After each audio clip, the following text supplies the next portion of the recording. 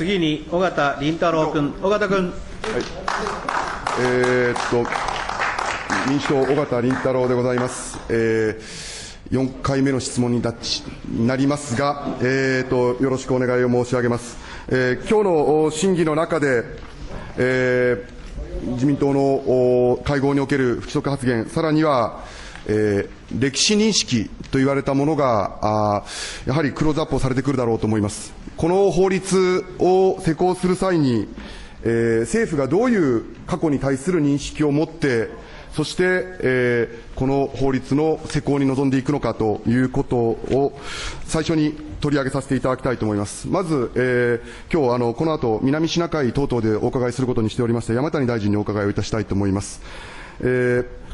先の大戦については、先の大戦については侵略戦争だというふうにお考えになりますか、大臣。山谷国務大臣。えーあの控えさせていただきたいと思います。尾形凛太郎君。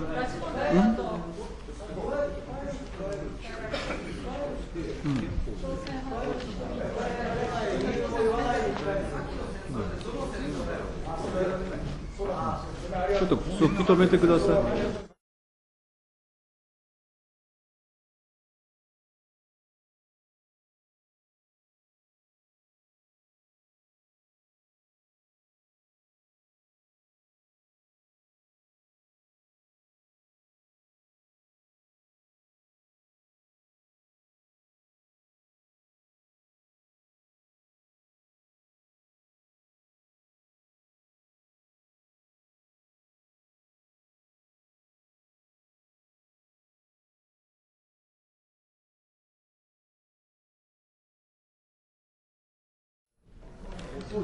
山谷大臣、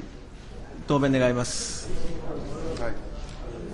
海洋政策担当大臣として、えー控えさせていただきたいという意味でございましたが、あこれまで繰り返し国会でも申し上げてきたとおり、安倍内閣といたしまして、歴史認識に関する歴代内閣の立場を全体として引き継いでおりまして、今後とも引き継いでまいります。尾形凛太郎君。えーでは正確に申し上げましょう。あの、国務大臣としてお伺いをいたします。先の大戦に、先の大戦については侵略戦争だというふうに思われますか？もう一度。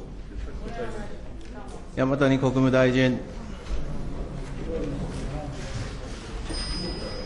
戦後、我が国は、まあ、先の大戦への深い反省の上に、自由で民主的で人権を守り、法の支配を尊ぶ国家をお作り上げまして、アジアや世界の平和と発展のために大いに貢献してきておりまして、このことは国際社会から高い評価を得てきているところでありまして、平和国家としての歩みを今後とも続けてまいりたいと思います。え歴史に関する問題でありますが、歴史家や専門家に委ねるべきと考えております。尾形凛太郎君。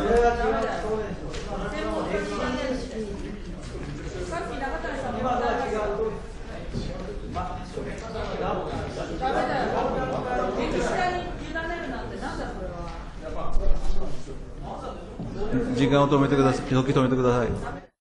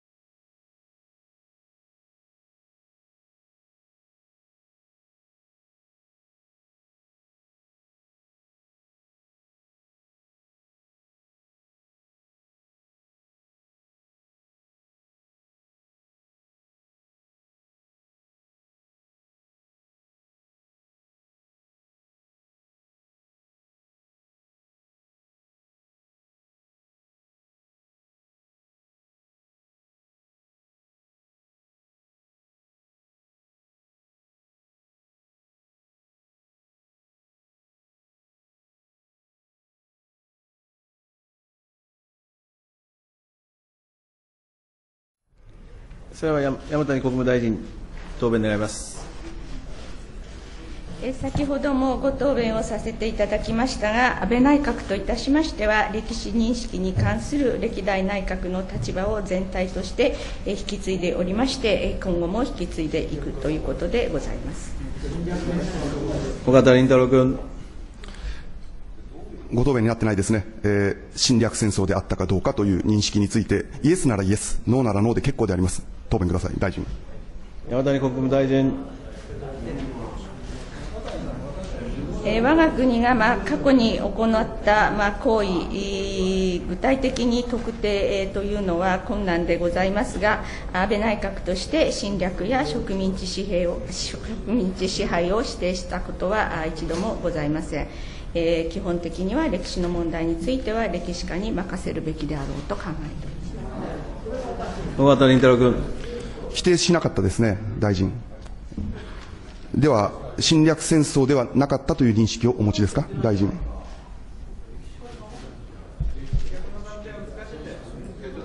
山谷国務大臣。繰り返しになりますけれども、安倍内閣として、歴史認識に関する歴代内閣の立場を全体として引き継いでいるということで、ございます。その上で、安倍内閣として侵略や植民地支配を指定したことは一度もない。そしてまた歴史の問題については歴史家に任せるべきであろうと考えているところでございます。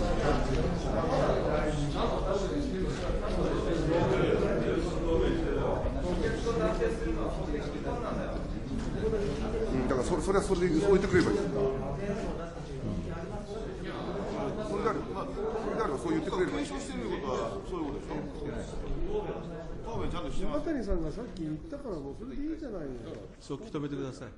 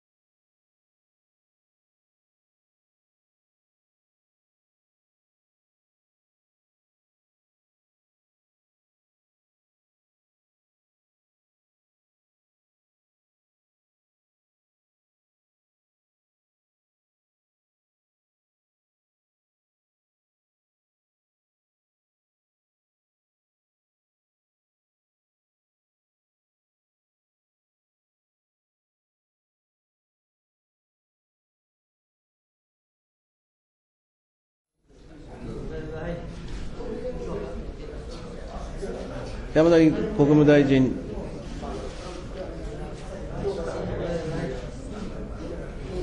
えー安倍内閣は歴史認識に関する歴代内閣の立場を全体として引き継いでおり、今後も引き継いでいくということであります。で、安倍内閣としてえー侵略や植民地支配を否定したことは一度もないということでありまして、えー午前中に中谷防衛大臣がご答弁されたことと私も同じでございます。もういいじゃない尾形凛太郎君。えーでは、その具体的な中身、あの調整した上で答弁いただければと思います。今の中谷さんと同じっていうだいつにしてで中谷大臣しゃべあの答弁して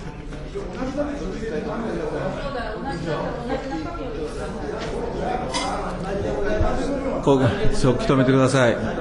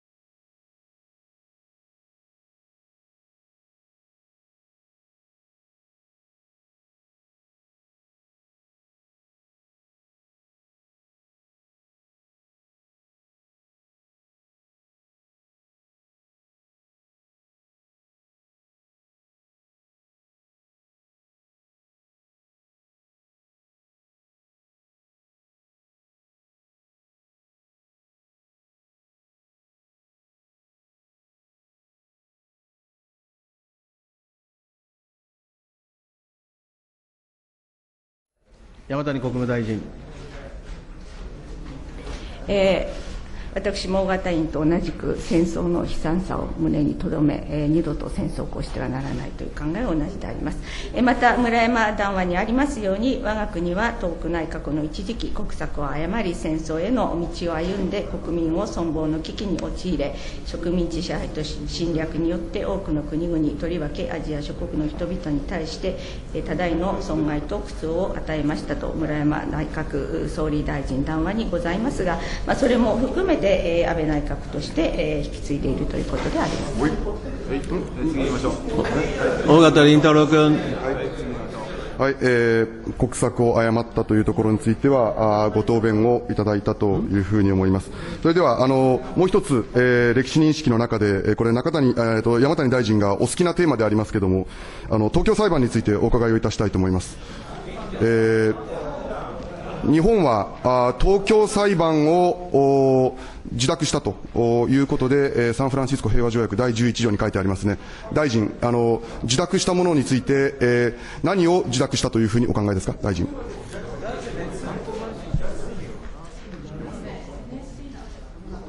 山谷国務大臣。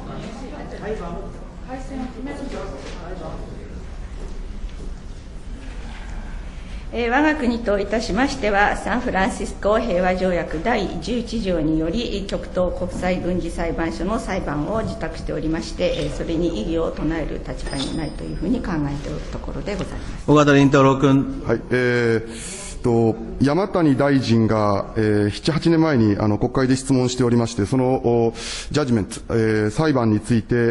ー答弁が来ております。えーそのジャッジメントの、ジャッジメントの内容となる文書、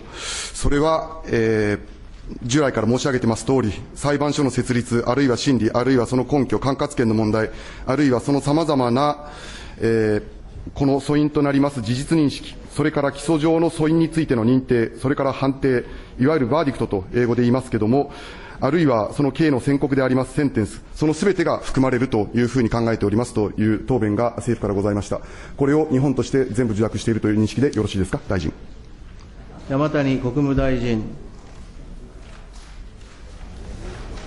えー極東国際軍事裁判所の裁判の内容となる文書はあ3部から構成されておりまして、えーこの中にえー裁判所の設立及び審理並びに根拠、えー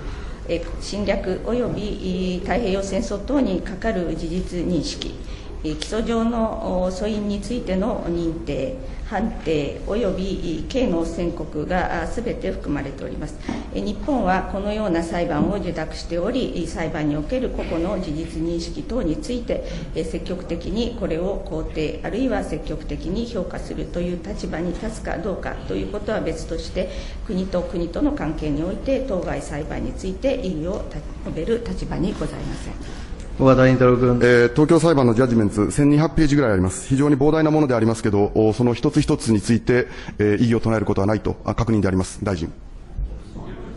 山谷国務大臣。えー日本は裁判を受託しており、裁判における個々のお事実認識等について積極的にこれを肯定、あるいは積極的に評価するという立場に立つかどうかということは別として、国と国との関係において、当該裁判について異議を述べる立場にないと考えております。大型林太郎君。はい、えー一つ一つについて、えー異議を唱えることではないということでありましたが、えーこれ、とですね、2006年6月、自由民主という雑誌に、えー対談をしておられます。その中で、えー稲田朋美さん、さらには、えーお亡くなりになられましたけれども、岡崎久彦さんと共に対談をしておられまして、えその見解については、おかしいということを山谷大臣、えー累次にわたって言っておられます。この対談の中で、そして、え見解が変わったということですか、大臣。山谷国務大臣。えー私が先ほど答弁いたしましたのは、安倍内閣の大臣としてでございます。大型林太郎君。はい。えーでは、個人としては意見が違うということですね、大臣。山谷国務大臣。えー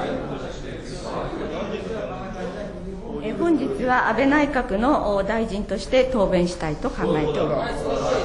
大型林太郎君。えーでは、あお伺いいたしたいと思います。退任された後も、今答弁されたことは、あ引き継いでいくおつもりがございございますか、大臣。山谷国務大臣。退任した時に考えたらどうですか？えー安倍内閣の大臣として答弁したところでございます。尾形凛太郎君。はい、えーもうそこではいと言わない段階で、えー大臣をやってるから、今、おそらく嫌々ながらでしょう。嫌々ながら、東京裁判について、全部受諾しているということを、今大臣だから言うけども、けども、実は本音は違うんだと。そういうような答弁で、ございました、本当にこういうことで、この程度の歴史認識で、本当にいいのかということを私は非常に深刻だと思いますよ。自分が大臣についている時であれば、それは閣内の言うことを聞くけども、実はそれは意見が違うんだと。また、おそらくこれでえー閣内を離れられたら違うことを言うんだろうと思います。本当に、あの、そういう認識で戦争に、戦争責任について、正しい認識を持った上で、戦争中の様々な日本の歩みについて、痛切なる反省に立った上で、歩んでいくことが、これがこの法律を施行した上で、とて、施行していく上でとても重要なことだと思います。そういう姿勢がない状態で、戦争に対する反省と、そういった思いがない中でやっていくことは本当に私は危険だと思いますよ、大臣。もう一言、大臣、答弁いただければと思います。山谷国務大臣。あの何をもって尾形委員がそのようにえー決めつけられるのか、あの私、よく分かりませんけれども、えー私の父は少尉軍人でありまして、平和を願う気持ちは誰にも勝っていると思います。同じです尾形凛太郎君。えーそれでは、あー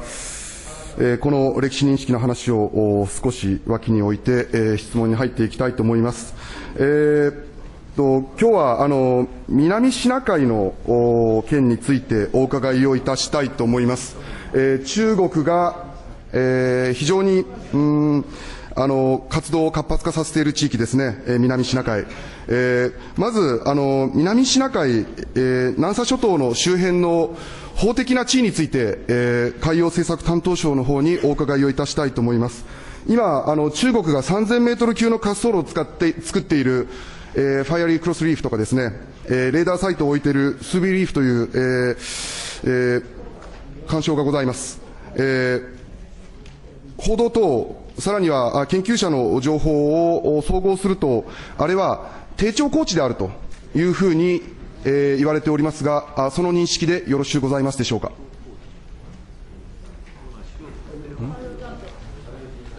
ああ、えー、じゃあ、じゃあ外相でも。岸田外務大臣。外務担当大臣に聞いたつもりだったんだけど。あのまあ、委員もご案内の通り、あの国際海洋法条約の上において、まあ、海洋は公海、あるいは排他的経済水域、領海、あるいは内水、えーこうしたの海域に区別されます。そして、ご指摘の点が、あのえーこのどれに当たるか、えーとそのえーこのという、まあ、点につきましては、この南シナ海の状況について、えー、と現状、まあ、どういった状況になるのか、あのその低え低調高地であるのか、えーそれともえー高水、えー高潮時においても、えー水面にこのう頭を出しているう部う土地であるのか、こういったことについて我が国として正確にこの把握することができない、こういった状況にあります。ですから、ご指摘の点についてどう判断するのか、我が国としてこの判断するまあ材料を持っていないというのが現状であります。尾形凛太郎君。えーこれあの、本当にこれ把握してないんでしょうか。これ実際に低調高地ですと、えー領海を持たないんですね。領海を持たない。今中国がバンバンとあの建物を作ってますけども、え人工物をいくら作ろうとも別にその、えー干渉の国際法上の法的地位というのは変わらないわけでありまして、これが低調高地であるか、それとも、えー潮が満ちているときに頭が出ているかどうかというのは、そその後のさまざまな警戒監視活動において、とても重要なポイントだというふうに思うわけですが、えーいかがでございますでしょうか、大臣。岸田外務大臣。あのえおっしゃるように国際法上、えー高潮時において水面上にある地形、これはあの了解を有します。え一方、えー高潮時には水中に没する地形、えーは原則として了解は有しないものであります。あのさらにはこの人工島は、この島の地位を有さず、え領海を有さない、こういった規定になっております。あのただ、こうしたあの埋め立ての有無等はですね、あのにより、えーこうしたものは影響を受けるものではないとおされておりますので、この現状がどうであったか、これをしっかり把握しなければあなりません。えーそういあの今、この南シナ海においてはですね、えーと中国として、この7つの地域でさまざまなこの動きをお示しているわけですが、現状がその今あ申し上げた、えーどういえーそのどの形に、えー当てはまるのか、まあこういったことについて、我が国として、えー十分把握できる立場にありませんので、えーこれをこれについて明確なお答えをすることは難しいという立場にあります。尾形凛太郎君。しかしこれからあの警戒監視活動に対して日本の貢献が求められているというような話もございます。その時に、えーその置かれている、その、例えば、一つ一つの干渉ですね、えーまあ、あの、ファイアリークロスリーフとか、スビリーフとか、いろいろございますけれども、その位置づけがはっきりしなければ、はっきりしなければ、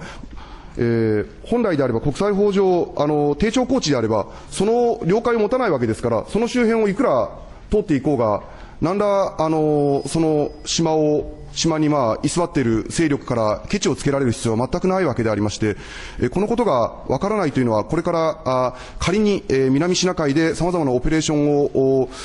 まあ、協力して、えー例えば米軍とやっていくときとかに、非常に問題が生じるのではないかというふうに思いますが、この件、お調べになる気持ちがございませんか、外務大臣。岸田外務大臣。えーっとまあ、あのまず、今申し上げましたように、この中国が埋め立てを進めている各地形が、えー、高潮時においても、この水面上にあるか否か、このことについて我が国として確定的に述べることは困難であるという立場にあります。そして、この南シナ海のこの、現状について申し上げるならばですね、南シナ海に領海以外の海域が存在するかという点について、この南シナ海全体の地形や広さ、あるいはこの国連海洋法条約上、この領海の幅はこの12海里を超えない範囲とされております。まあ、こういったことを考えるならば、南シナ海に、まあ、領海に属さない海域は存在する、えーこのように考えているところであります。我が国としまして、南シナ海の法的地域につきましては、今申し上げましたような認識に立っております。尾形凛太郎君。これ、あの、ぜひ調べていただきたいですね。これは、あの、与野党問わず、多分皆さん思いが一致すると思います。えー今、中国が、あ様々な埋め立てを行っている、レーダーを置いている、そういった場所、それが、えーあの、まあ、低調高地というのがそもそも領土かどうかということについても国際法上様々な議論があるわけですけれども、それ以上に、えーそこに、えーもう本当巨大なものが立っているけれども、それが実は法的に国際法上、それが、えー領土として、そして領海を持つような領土として正当化されるのかどうかということについては、えーあの、南シナ海が、あ場合によっては重要影響事態に当たることもあるんだと。南シナ海で何か起こったときに、それが重要影響事態になることもあり得るのだというような答弁も、これまでの審議の中でございました。そのことに鑑みれば、このことについては、しっかりと、外務省、さらには、あまあ、海洋政策本部も、かもしれませんけれども、協力をした上で、この委員会の方に、えーその位置づけ、えー島なのか、それとも低調高地なのか、それとも、えー潮が満ちている段階でも、あ潮が引いている段階でも、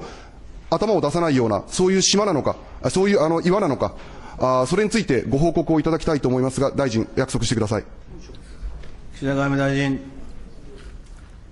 えーっと、まずあの、現状における我が国のて立場は、あ先ほど申し上げたあ通りであります。あの、中国が埋め立てを進めている各地形が、あ高潮時においても水面上にあるか否か、えこれについて確定的に申し上げることは困難であります。えそして今現状において、今そうい、えーこうしたこの様々な、えーこの地形があどのような状況にあるのか、我が国として確定的にこれ、えー確認することは、ああ現状、まあ、困難な状況にあると考えてえおります。えーこういった状況でありますので、えー我が国としましては、今申し上げたような、この南シナ海の法的の地位、法的地位に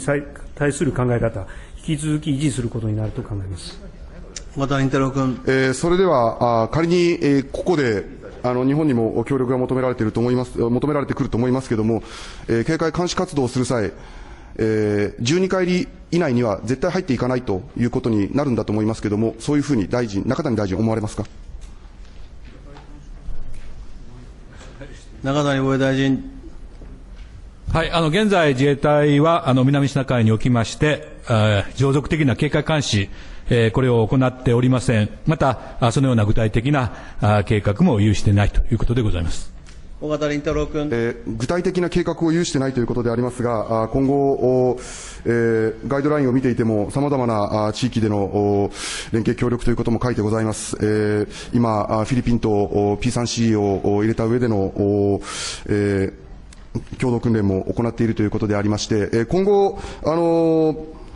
まあ、これ、仮定の質問になりますけれども、お今後、南シナ海でのお警戒監視活動に P3C を出していくこと、これについては、えー今、具体的にないと言いましたけれども、念頭にございますでしょうか、大臣。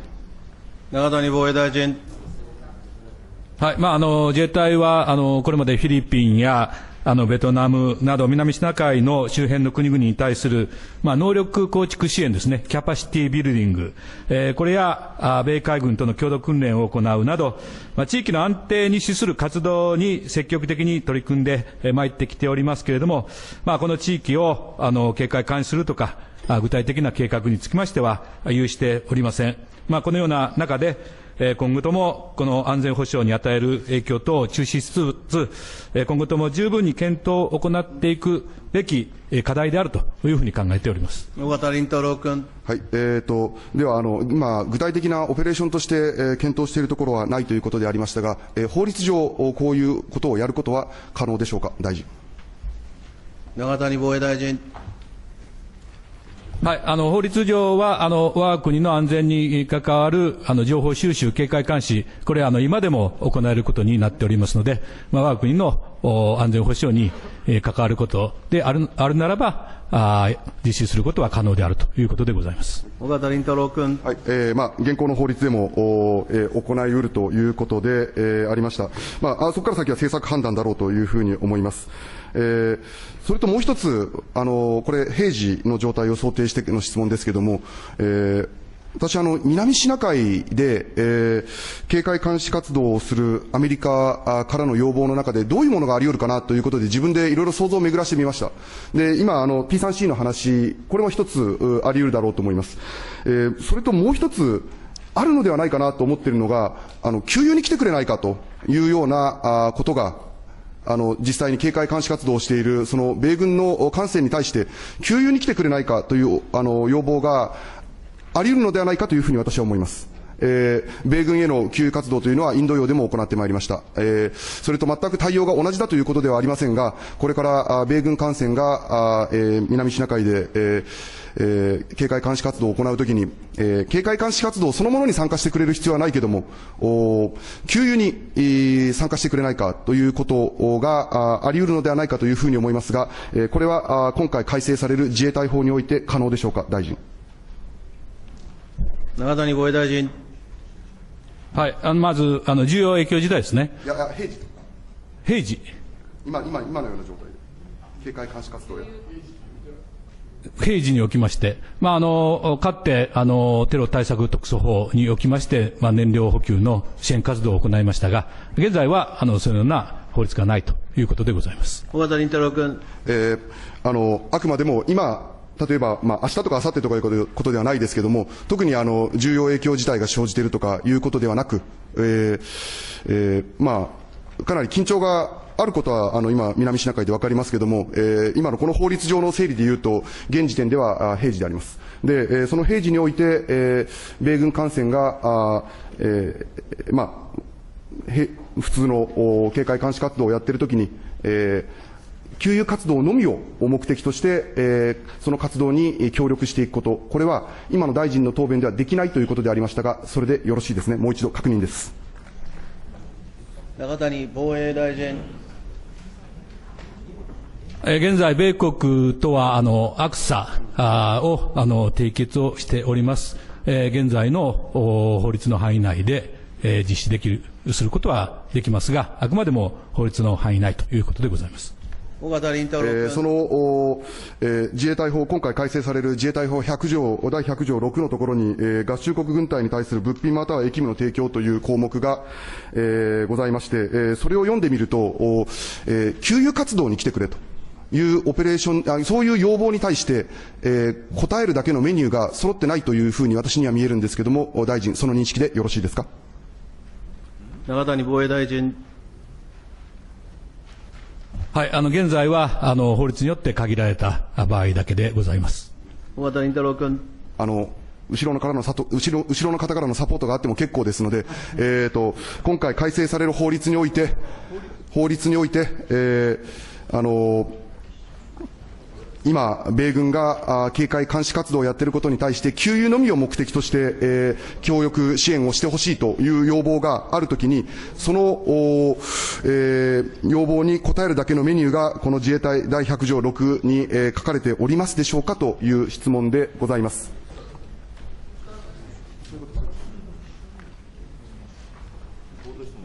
永谷防衛大臣、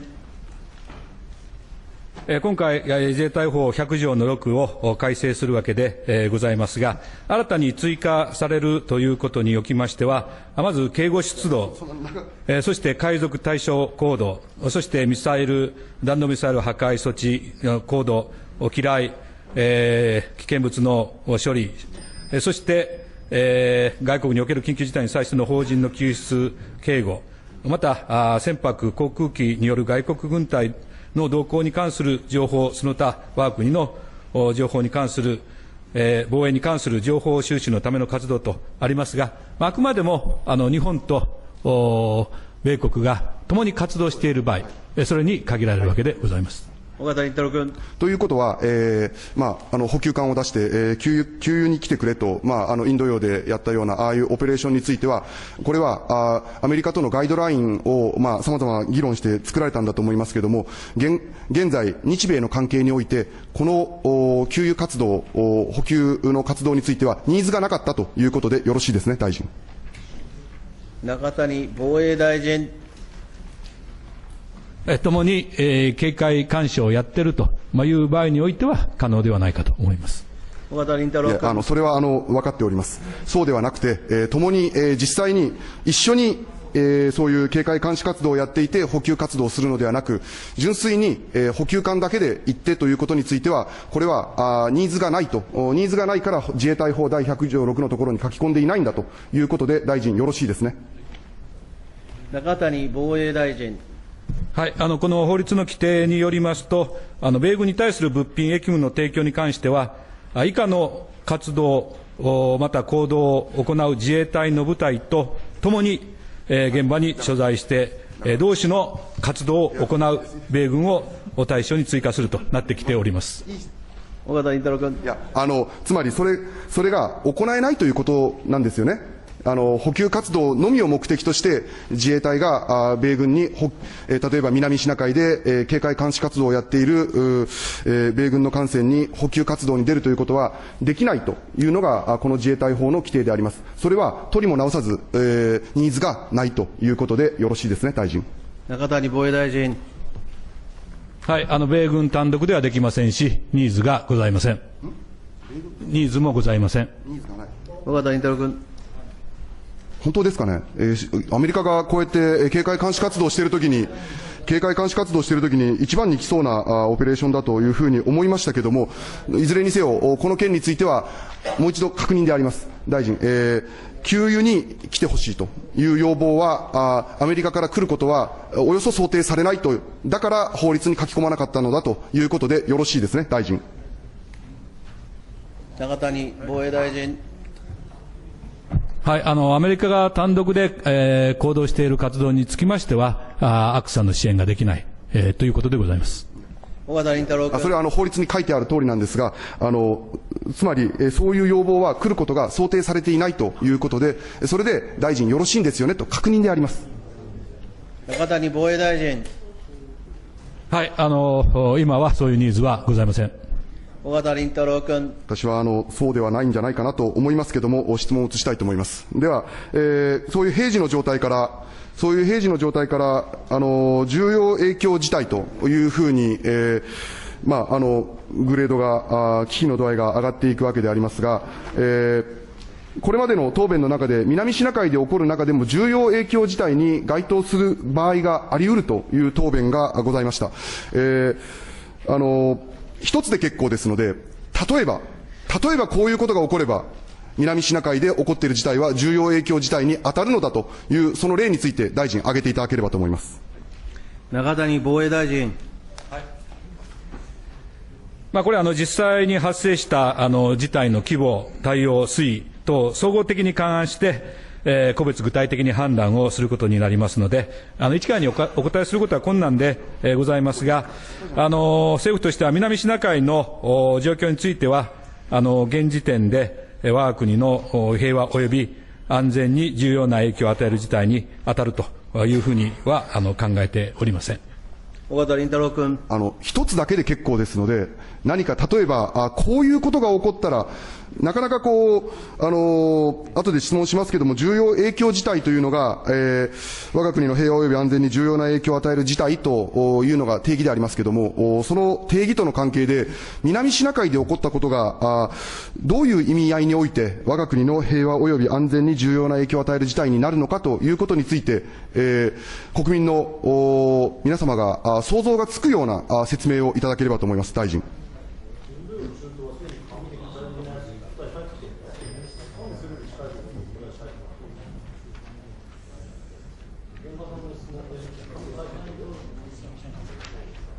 中谷防衛大臣。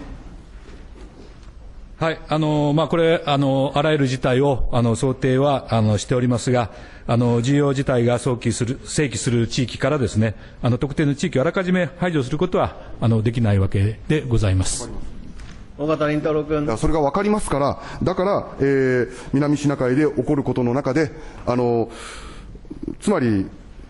我が国の平和及び安全に重要な影響を与える事態という、それだけがあ定義としてバンとあって、そして、えーどうも南シナ海で起こることについても、重要影響事態に対象となることがあり得ると、もうそれだけの情報しか今、えー国民には与えられてないわけですよね。で、あの一つ一つ、す、え、べ、ての事例を答えるのはあ、そんなことを求めてるんじゃないんです。そんなことを求めてるのではなくて、南シナ海でどれぐらいのことが起こったら、どれぐらいのことが起こったら重要影響事態に該当し得るんだろうかということについて、イメージが湧くような説明をしてくださいというふうに先ほどから言ってるんです。大臣。中谷防衛大臣。はいまああのまあ、今まで挙げた例につきましては、これあの、中東とかインド洋おなどの地域で、えー深刻な軍事的緊張状態、また武力衝突が発生した場合であって、我が国に物資を運ぶ日本の船舶に深刻な被害が及ぶ可能性があり、かつ、えー米軍等があこうした事態に対応するために活動している状況が生じたときは、あその他の状況も勘案した上で、えー当該事態があ重要重要影響事態に該当することはあり得るということでございます。尾形凛太郎君。はい。えーあの、すぐにその答弁が出てくればこんなに時間取らなかったわけでありますが、えーしかしですね、えーこの重要影響事態という言葉、定義については、えー非常に分かりにくいところがある。読んでみますと、あの、そのまま放置すれば我が国に対する直接の武力攻撃に至る恐れのある事態等、我が国の平和及び安全に重要な影響を与える事態、これを重要影響事態と呼ぶというふうに書いてあります。えー一応定義の確認でありますけども、最初の方のそのまま放置すれば我が国に対する直接の武力攻撃に至る恐れのある事態等というのは、あくまでも例示であって、えー定義そのものに全く影響を与えないということでよろしいですね、大臣。中谷防衛大臣。はい、あの委員のご指摘の通り、例示でございます。尾形凛太郎君。はい。えーそうすると、お結局、あのー重要影響事態というのは、そのこし、あのーその、まあ、肝というか、それは何なのかというと、もう我が国の平和及び安全に重要な影響を与える事態、これだけなんですね。これだけです。で、これまでは、あ我が国の、我が国周辺地域におけるという言葉がついていたのが外れてきます。で、そうすると、あの、周辺地域で起こっていることではないんだけど、我が国の平和及び安全に重要な影響を与える事態ということですから、それぞれの言葉の定義がとても重要になってまいります。とても重要になってきます。えー、一つ一つの言葉がはっきりとしてこないと、えー結局、ぶわっと何でもかんでも我が国の平和及び、えー安全、安全に重要な影響を与える事態と、どんどん広がっていくことを懸念をいたします。大臣、えー我が国の平和及び安全、この意味についてご答弁いただければと思います。中谷防衛大臣。はい、あの、まあ、我が国のお平和と安全にえー重要な影響を与える事態でえーございますが、まあ、あの、おどういう事態かと言いますと、まあ、それぞれの、まあ、規模、対応、推移等、まあ、総合的に勘案して、まあ、国家として主体的に判断をしていくということでございます。尾形凛太郎君。いや、それでは、あの、あの、結局、後方支援をすることができる法律というのは、恒久法と、この、えーあの、改正、えー周辺事態法なわけですけれども、恒久法の方は、あの、要件が、例えばこういう決議が出るとか、あそういったことがあって、まあ、少し、あの、幅があると思いますけれども、結構幅が、あの、まあ、歯止めがかかっているとまで言うと、はばかられるかもしれませんけども、一定の決議を要件としていると。そうすると、後方支援で、仮に、我々が懸念しているのは、高級法の方ではまらなければ、我が国の平和及び安全という概念を非常に長く、広く介して、それに全部引っ掛けて、いずれにせよ後方支援をしようとするふう、しようとするふうに、しようとするのではないかと。そういうツールとして、この重要影響自体が使われるのではないかということが懸念になってくるわけであります。だから私先ほどから聞いてるんです。我が国の平和及び安全、これは何ですか？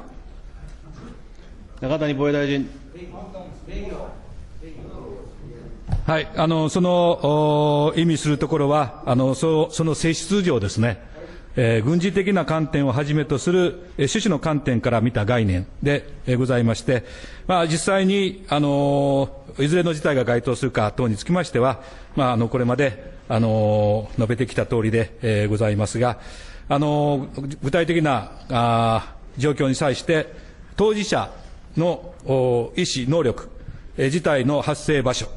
事態の規模、対応推移などをはじめ、日米安保条約の目的の達,成に寄与する活動を行う米軍、その他の外国軍隊等が行っている活動の内容の要素を総合的に考慮しまして、我が国に戦火が及ぶ可能性、国民に及ぶ被害等の影響の重要性などから、客観的かつ合理的に判断するということでございます。尾形凛太郎君。えーそれはあの全然あの客観性に欠けている、もういかにいかようにでも使えるような定義でしかないわけですね。で、えー本当にこれ、えー先ほど言ったように、高級法の方が、あ要件がやっぱり決議とか、そういったもので、えーはまっている中で、えーじゃあ、あの、高級法がダメだから、高級法が使えないから、だから、重要影響事態をすごく広く介して、これも、あれも、それも、どれも我が国の平和及び安全に当てはまるのだというふうに解釈することができるような、まさにこの重要影響事態に関する法律は、これは、あの、我が国がそう判断すれば、客観的な決議とかなんとかそういった要件が必要なくて、それで、えー国会との関係さえクリアすれば、それで出せるわけですよ。客観的な、客観的な基準が欠けてるわけですね。それは確かに、あの、本当に周辺事態であれば、我が国の周辺で、えー我が国の平和及び安全に重要な影響を与える事態だ。けども、これからは、我が国の周辺の地域におけるというのが落ちてしまっている以上は、もう少し大臣、我が国の平和及び安全という考え、言葉について、どこまでのことが、どこまでのことがこれに当てはまるのかということについて、明確にならないと、明確にならないと、もうすでに存立危機事態については、要件が厳しそうに見えても、もう打ち出の小槌のように、何にでも引っ掛けられるというような感じになってるわけですよ。第二の打ち出の小槌じゃないですか、これは。ね？大臣、だからこそ私聞いてるんです。我が国の平和及び安全に重要な影響を与える事態、この我が国の平和及び安全という言葉について、もう少し踏み込んだ答弁いただければと思います、大臣。中谷防衛大臣。まずあの、現在の周辺事態法おと比べましてですね、まあ、安全保障環境が変化をしたということで、まあ、特定の地域をあらかじめ排除することは困難であると、まあ、考えたわけでございます。えーそしてもう一つ、あの、同時に国際平和支援法というものを、あの、法律であの制定いたしました。あの、これにつきましては、こっちの方は国際社会の平和及び安全のために国際社会が共同して対処している事態、そして国際社会の平和及び安全の確保に資するために我が国が実施する対応の措置を定める法律でございます。であくまでも、この重要影響事態というのは、我が国の平和及び安全に資するための対応措置の法律でございまして、まあ、あの、これにつきましては、あの、ある事態が重要影響事態で該当すると、まあ、評価をされる場合におきましては、政府は閣議決定をした基本計画をお伝えなく国会に報告をするとともに、後方支援活動の実施については国会の承認が必要であると、まあ、いうことで、基本計画にですね、まあ、その理由とか状況とかですね、それを示した上で国会の承認を得るわけでございますので、まあ、その中で我が国の安全に重要な影響を与える事態であると、まあ、いうことを認定をして説明をするということでございます尾形凛太郎君。いや、あの、これ問題ですよ。あの、最終的に何かと言ったら、えー、基本計画に書き込んだときにそれを見てくれて、それで判断すればいいじゃないかというようなことですけども、そうじゃなくて、もう少し我が国の平和及び安全に重要な影響を与える与える事態と、これしか書いてないわけですから、定義はこれだけなわけですよ。そして、これさえ満たせば、高級法と違って、決議を要件としているような高級法と違って、後方支援の発動が可能になっていくわけです。だからこそ、もう少し定義のところを踏み込んでいただけないと、何でもかんでも引っ掛けられるじゃないかというふうに、そういうふうになっていくことを懸念するがゆえに、私、あの、聞いてるんです。しっかりと大臣、今、後ろから紙が言ったようですので、答弁いただければと思います。中谷防衛大臣。はい、まあ、あの、我が国に、あの、我が国の平和と安全に重要な影響を与える事態と、まあ、いうのは、あの、まあ、発生、えー、した状況がですね、直接的に我が国に影響を及ぼす場合だけではなくて、まあ、様々な状況が複合的に絡み合って影響を及ぼす場合、時間的な感覚を持ったいくつかの要因が重なり合って影響を及ぼす場合など、まあ、まさに千差万別であります。また発生する地域、どのような地域が事態の当事者となっているか等によっても、それぞれの状況が我が国に及ぼす影響等の程度も変わってくると。まあ、いうことでありまして、まあ、あらかじめ累計的にですね、あの、こういうものであるということは、あの、困難でございますが、まず、あの、周辺事態におきましての6類型、えー、6つの具体例等について、えー、示していたことも、まあ、この判断の一つでございます。まあ、いずれにしましても、あの、これは、あの、厳密にですね、あの、事態の認定を行いますので、あの、そういう決定におきましては、政府で閣議決定をする際に、明らかに、えー、我が国の重要影響事態だと、まあ、いうことを、理由を述べて、また、国会の方にそれを承認をいただくという手続きがございますので、厳格に説明をしてまいりたいと思っております。尾形凛太郎君。つまりそれはもう、あの、今、今聞いて、あ、なるほど、それが我が国の平和及び安全かということを理解した議場の方もいなかっただろうし、そして、国民の人もいなかっただろうと思います。結局、ペンの舐め方次第だと。ペンを舐めて、うまく作文さえすれば、何でも我が国の平和及び安全に引っ掛けられるじゃないかというふうに、そういう懸念があるから、だから我が国の平和及び安全というのがこの事態において何なのかということを聞いてるんです。大臣、この件は後方支援にどういう要件でいくか、公共法でいくのか、それともこの重要影響事態でいくのか、それともいけないのかという判断をするときに、とても重要な要件です。この件について、えー、では、あの、委員長にお願いしたいと思います。我が国の平和及び安全というのは何なのかということを、えー、政府に提出をいただけるように、取り計らっていただければと思います。理事会で協議いたします。尾形凛太郎。えー、その上で、えー、この我が国の平和及び安全に重要な影響を与える事態というのが、それでは何なのかと、先ほど、えー、若干大臣、煙幕を張るように答弁をしておられましたが、えー、周辺事態においては、野呂田大臣における野呂田6類型というのがありました。えー、まあ、若干、あの、あの類型もよく見てみると結構幅広いなと思うことあるわけでありますが、それでも6つの類型が出てきて、大体こういうことが当てはまれば、周辺事態だと。これは今、我々が国会審議をするに際しても、非常に参考になっているわけですよね。で、えー、中谷大臣に、えー、お願いをいたしたいと思います。えー、野呂田6類型に代わる中谷6類型、えー、答弁いただければと思います。中谷防衛大臣。えこの問題は、あの、以前、民主党の現場委員からもご説明を、あご質問いただきましたので、あの、一応政府としての考え方は、あの、お示しをいたしております。あの、お六類型等につきましては、あの、大事な要素で、ございますので、これを引き継ぐわけで、ございまして、まあ、あの、内容的には、あ周辺事態における認定と、私は、あ同じ考え方で、えー認定をいたしますし、また、あの、考え方等につきましては、あの、類似ご説明しておりますけれども、えー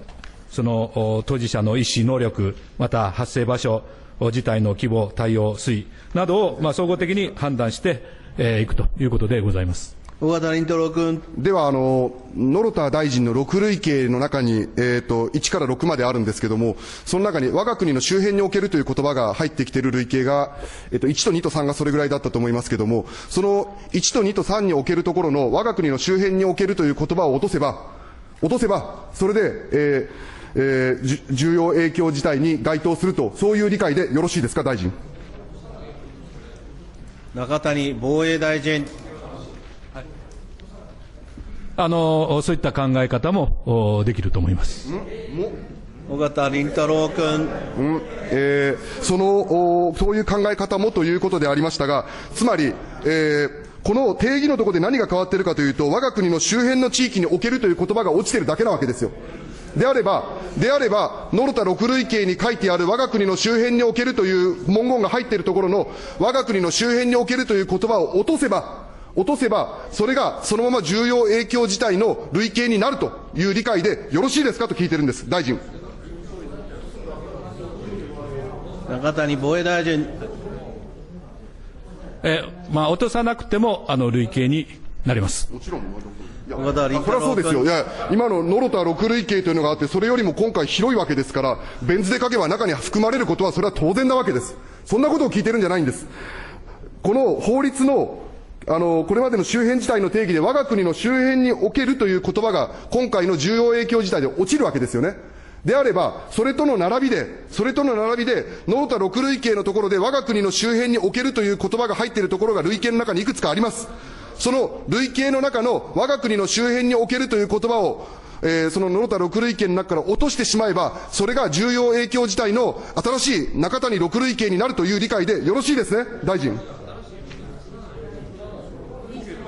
中谷防衛大臣。まあ、あの平成11年のあの政府見解の6つの具体例について、まあ、申し上げれば、まあ、これらはあの当時ですね、えーあくまでも事態が生起する原因に着目したものとして、まあ、少なくとも外形的には一定の類型化が可能であると、まあ、あの整理してお示しをしたもので、えーございます。また、はい。尾形凛太郎君。えー、と普通に考えれば、もうこれで終わりますけれども、あの周辺地帯で我が国周辺の地域におけるというふうに書いてあるんですね。で、それそれで、えー我が国の平和及び安全に重要な影響を与える事態と書いてあるわけだから、その野呂田大臣が提示された6類型の中で、その我が国の周辺におけるというその概念さえ落としてしまえば、それがそのまま重要影響事態になるのではないですかと、極めて、あの論理的に説明したつもりなんですけども、大臣からは、はい、そうですという答弁が返ってきませんでした。全然これだと、あの、先ほどから言った我が国の平和及び安全についてもわからない。そして重要影響事態の類型についてもお述べにいただけいただけない。これだと、何に自衛隊は出ていくのかということがよくわからなくなってくると思います。この件、また、あの、質問させていただきたいと思いますので、えー質問をここで終えさせていただきます。ありがとうございました。